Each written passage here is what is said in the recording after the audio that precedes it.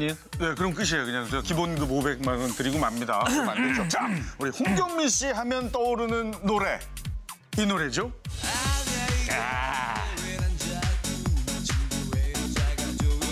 아, 요거, 요거. 네. 자, 이 노래 때문에 사실 우리 홍경민 씨가 한국의 리키 마틴이라는 별명까지 얻었는데 그랬었죠. 첫 번째 문제, 바로 듣고 있는 이 노래와 관련된 문제입니다. 1번 문제 주세요.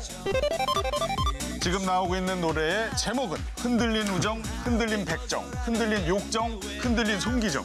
아, 자, 홍경민 씨 고민합니다. 틀려도 좀 그러네요, 제가. 틀리면 이건 진짜- 틀리면, 이건 틀리면 큰일 나는 거죠. 틀리면 진짜 욕먹죠. 예, 자, 예. 아, 쉽게 다 맞히시리라 생각이 되고요. 네. 홍경민 씨에게 흔들린 우정이란? 뭐, 지금의 저를 잊게 해준. 예, 은인과도 같은 노래다. 뭐 이렇게 볼 수 있겠죠. 어떻게 보면 약간 상업적으로 얘기하면 연금 연금 같은 노래죠. 연금, 연금보다도 어떤 그, 뭐랄까, 보너스인데, 네. 그때 딱 큰 보너스를 아주 크게 한 번에 얻었던. 아, 예. 적금을 그냥 일시불로 찾은 그렇죠, 느낌. 그렇죠. 네, 좋습니다. 자, 정답 이미 알고 계신 것 같지만 확인해 봐야겠죠. 정답 보여주세요.